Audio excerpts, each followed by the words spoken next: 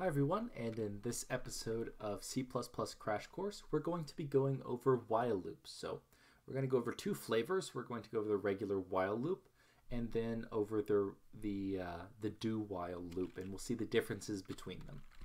So let's go ahead and open up our example. this case, it will be cf while loops.cpp. And we'll get down to the interesting part. So when we talked about for loops in the previous video, uh, you know, we saw that we can do, you know, successive addition for multiplication uh, using these looping constructs. So we'll, we'll continue in that same vein and show that C++ has a lot of different ways that you can do things. So we'll do that same, uh, we'll, we'll solve that same problem using a different construct, this time a while loop. Now in this case, it's the same 5 times 10 but in this case, we're going to use a while loop, and a while loop only has one part to it. So while for loops, you know, we initialized a variable, we had a condition check, and then we had, say, an increment, uh, which could also be a decrement if we wanted to, but we used an increment. The while loop is kind of like an if statement. We're just testing a condition. So in this case, we're just checking if the multiplier is greater than 0. So we're doing 5 times 10, and we want to check how many times we've done it so far. And so within the while loop, what do we do? We do the same thing that we did in the for loop, where we do this addition. So we do this plus equals. Remember, this is the same thing as saying product is equal to product plus multiplicand, but we can shorten it with this plus equals. And then we're doing uh, kind of like we did in the for loop, that increment with the two plus signs we're doing a decrement this time. So we're taking multiplier, and when we do these two subtract signs, this says take multiplier and make it equal to multiplier minus 1. So this is exactly the same as multiplier is equal to multiplier minus 1. But as you can see, it's a lot cleaner just to write the decrement sign. So what should happen here? So every time we go through the loop, multiplier will go down by 1, and as long as it's greater than 0, we'll keep adding. So it should go 10, then 9, 8, 7, 6, 5, 4, 3, 2, 1. On the last iteration, it will go to 0. We'll test this while condition, and then we won't execute the loop because this condition will now be false. 0 will not be greater than 0. And then we'll print out what the multiplier is. We'll expect it to be 0.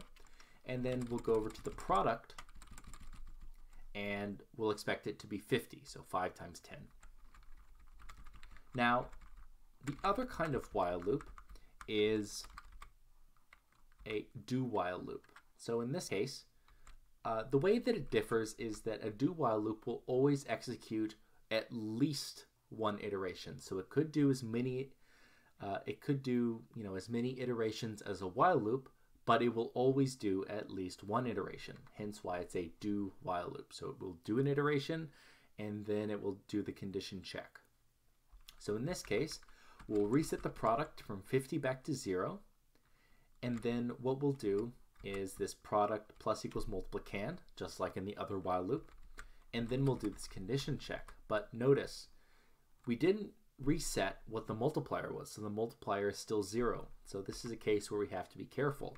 So do, do while loops can get you into a little bit of trouble because if say, you know, you don't reset your multiplier like we didn't do in this case, we'll execute an invalid loop iteration. So this uh, this condition, this multiplier is greater than zero, this will not be met for the first iteration. Multiplier will be equal to zero, so what we should get down here is the multiplier will be equal to negative one now and that's because we'll decrement on that first iteration from 0 to negative 1 and but we will get a product of 5 so it will do that first iteration of successive addition but once we get to that while loop it'll check the condition it'll say wait you know I've already passed so I'm not going to do any more. So we'll stop at one iteration for this do while loop. So let's go ahead and execute the code so first we of course have to compile it. Dash O cf while loops.cpp or while loops and then we'll input our while loops.cpp file. No compile errors. And then we'll go ahead and execute the code. And we see we get what we expected. So for the first while loop, um, we decrement the multiplier all the way down to zero, and our product is 50. We reset the product after that, and we see that that do while loop, unlike the while loop, which wouldn't have executed if we had done another while loop instead of a do while loop, it wouldn't have executed anything, and multiplier would be zero and product would be zero, because a do while loop will always execute at least one iteration. It will decrement multiplier to negative one, and it will add five to product. So while loops are important if we want to, uh, we could have a while loop that runs forever. So say we have some system that's out there and we want it to continuously monitor something. Well, we can't really say, we can't really use a for loop and say, do it for infinite times. Uh, we could, but it's a lot easier to just say with a while loop. It's a lot easier to just put that construct in there. And sometimes we maybe always want to test something at least one time and then maybe continue on if that test is true. So we can conveniently do that with a, uh, a do while loop. Now, all of this code is, of course, always available at the, oh, it's off screen. There we go.